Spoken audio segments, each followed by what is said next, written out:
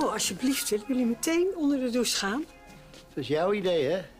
Om ons die stinkbus te laten schoonmaken. Hé, de ideeën van jou zijn lekker. Van Klaas. Nee, nee, blijf maar daar. Maar horen wat erin zit. Beste mevrouw, ik ben u bijzonder dankbaar dat u mijn duif gered heeft en zo goed verzorgd hebt.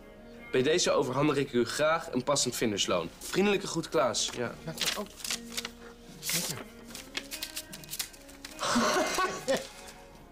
Duizend euro! Nou, fantastisch.